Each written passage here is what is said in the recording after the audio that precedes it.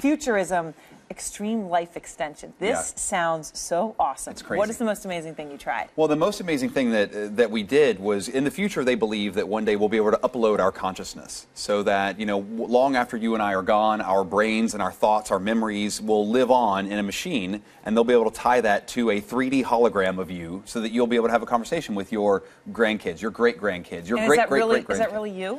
And it's really me. Like you see me get a To get a 3D your hologram. soul? Well, it's yeah, it's exactly just like just like a mirror. Um, what do you think about this, though? I mean, I do you believe it? Well, it's nuts. Like you start talking about it, but then you know years ago people would have said, "Oh, we're never going to land on the moon. Oh, cloning's never going to happen." And, and in the show, we show guys, you know, doctors now who are printing 3D printing organs for your body. So if one day you need a new liver, you need a new kidney, they're basically printing them out of machines, which is that's that's an incredible thing and crazy.